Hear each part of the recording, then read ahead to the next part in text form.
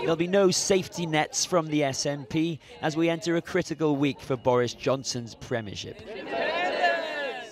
They've said they'll vote against any deal, and they want opposition parties to join them and vote him out of office.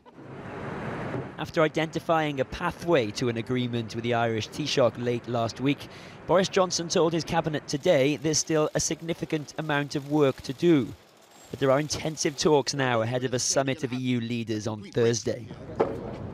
Details are scarce, but the DUP have said again they won't tolerate Northern Ireland remaining in the EU customs union. A leading Brexiteer who used to say he took his lead from the DUP on matters of the union, today acknowledged he may have to eat his words. I trust Boris Johnson to ensure that the relationship the UK has with the European Union is one where, where we are not a vassal state. And that is the point that we are leading towards in all these discussions, and I'm very keen that we should succeed in getting to. My clear message to the Labour Party and to the Liberal Democrats is this. The SNP is not in the business of propping up a Tory government, nor should you be. As the SNP gathers in Aberdeen, there's no consensus about the next move among opposition leaders. The only option that truly puts a stop to this chaos is to call a general election. Well, it's set to be a huge week ahead for the Prime Minister, but just as crucial for the opposition parties too. If Boris Johnson brings back a Brexit deal, can those who want to stop him, and they're trying to force the issue here today, coalesce around a coherent plan? There's distance tonight between the SNP and growing momentum among leading Labour figures to try and put any Boris Johnson deal to a referendum before a general election. I know that many colleagues are, of a similar opinion to me. They've been on a journey. They weren't in favour of a referendum to start off with, but now we realise that it has to be put before the people. Now, that's the case if we're in a general election and Labour renegotiates a deal. And equally, I think it should be the position if we're faced with a deal that's passed through the Commons by an unelected Tory Prime Minister that could potentially be damaging for our economy. Does have wide support within the Labour Party. So a pre-election referendum on a Boris Johnson deal. Whatever pressure he's under from senior colleagues, it wasn't something Jeremy Corbyn was willing to endorse. We have to get a deal that we can agree on if possible, and the Labour position is that we would take this to a public vote uh, under a Labour government, which within three months we would hope to reach agreement with the European Union. We leave that to be possible along the lines that we've set out, and within six months hold a referendum. Tomorrow, Boris Johnson will have his Queen's speech, laying out his government's legislative agenda despite a majority of minus 43. Opponents believe it's a ploy to promote his election priorities.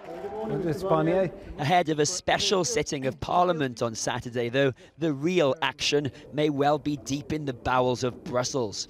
The EU's chief negotiator saying this evening talks with the UK had been constructive, but a lot of work remains to be done. Ciaran Jenkins reporting. Earlier, I sat down with Scotland's First Minister and leader of the SNP, Nicola Sturgeon. I asked her, does she have any sense of what Boris Johnson's deal amounts to?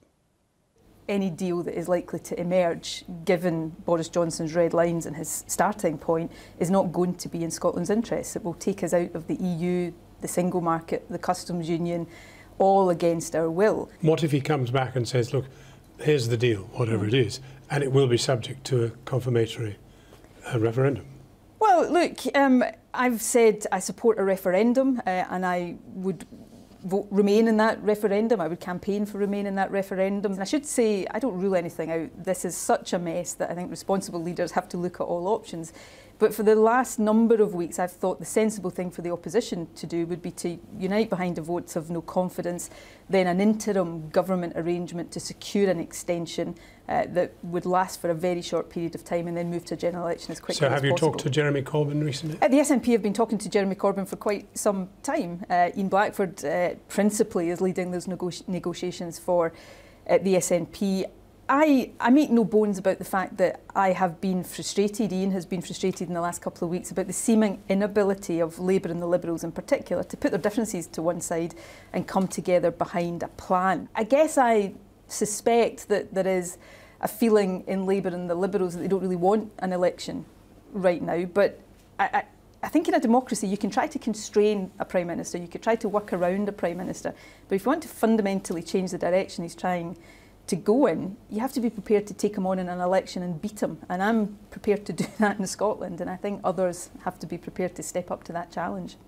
You're a Remainer. Which is more important to you, stopping Brexit or independence for Scotland? It's, it's not an either or because independence for Scotland means we never end up in a position where we're facing things like being taken out of the EU against our will. We're in charge of these decisions. We, uh, so independence for me is the most important thing because it means on Brexit, on anything else, Scotland's in charge of our own destiny. But you wouldn't regret. automatically be in Europe That's, if well, you were if, independent. Well, there is an appetite to see Scotland in the EU, and I think there would be open arms. So, of course, there would be a process. Would there really? Because yes, think do. of all those other people who think they're open arms.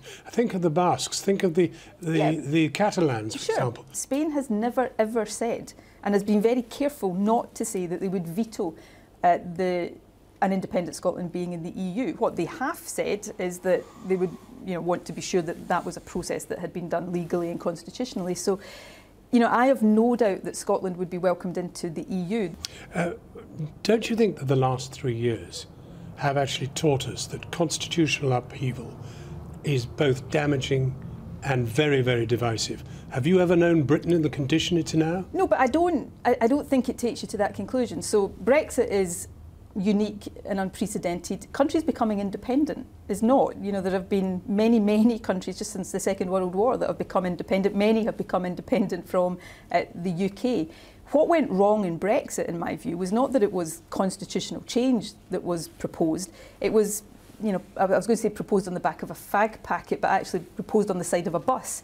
There was no detail, there was no grown up, mature discussion about the implications, the trade offs, the compromises that would have to be made after a vote for Brexit. A couple of domestic issues. Life expectancy in Scotland is now the worst in the United Kingdom and getting worse. Why and why can't you combat Well, that? firstly, uh, that's not a, a new thing. Life expectancy has lagged the UK for generations. Uh, and I think, if memory serves me still correctly, across the UK, we're seeing a slight peg back in life after many years of improvement. So these challenges are not new in Scotland. Actually, if you look at many of the actions we are taking in health, shifting towards a much more preventative approach to healthcare, uh, cancer survival uh, and uh, mortality in our hospitals, all of these things are going in the right direction. And then you get that glaring figure of a thousand Yeah. deaths from drugs, which is shattering. And one wonders It's- why you're not throwing your everything at it. Well, we are. If you go back uh, to when I was much younger, drug use in Scotland was, uh, you know, worse than in many other parts of the UK. What we see now is a, an ageing cohort of people who've been taking drugs for some time with multiple uh, morbidities, and that's it's not necessarily the only factor, but it's one of the factors uh, feeding that increase in drugs deaths. It's not acceptable. Uh, we have established a, a task force to look at the different things we have to do to, to address that. We've already announced, I announced it in our programme for government uh, in September, additional investment, substantial addi- additional investment in uh, drug treatment services.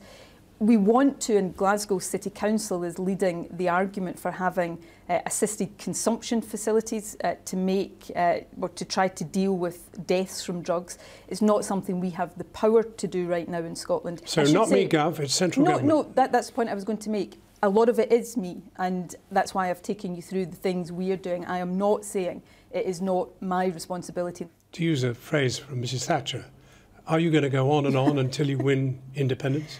Well, I, I hope to do that because I hope we're going to win independence soon, um, and I think I think we're closer to that than ever before. Am I going to tell people? I've that heard the, you say that before Of too. Of course you have, but I'm not. I haven't been around for that long. Actually, I have been around for quite a while. Um, look, I'm I'm not the kind of leader that just tells people what they want to hear. I believe we are closer to it than ever before. I think we'll achieve it uh, soon, and I fully intend to lead as long as my party and the country want me to be party leader and first minister. Then I'm enjoying the job. It's challenging. It's a challenging time to be doing it in, uh, but I relish the challenges ahead.